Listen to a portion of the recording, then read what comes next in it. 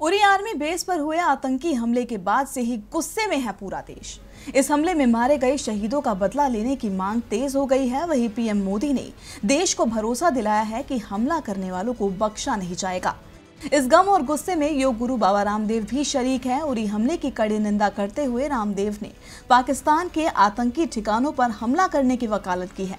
उन्होंने कहा कि अब देश में अहिंसा के साथ वीरत्व की बात भी करनी होगी। मोदी जी को बुद्ध और युद्ध दोनों का समन्वय करना होगा।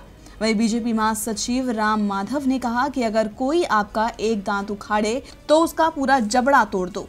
दूसरी तरफ़ इस हमले के बाद मोदी सरकार विपक्ष के निशाने पर आ गई है। आरजेडी अध्यक्ष लालू प्रसाद यादव ने कहा है कि नरेंद्र मोदी की लापरवाही से हमारे जवान मारे जा रहे हैं और जम्मू कश्मीर हमारे हाथ से निकलता जा रहा है।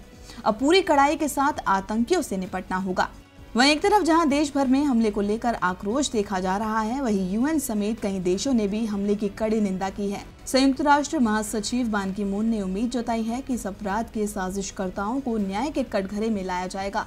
फ्रांस की ओर से जारी बयान में कहा गया है कि वह आतंकवाद के खिलाफ लड़ाई में भारत के साथ खड़ा है।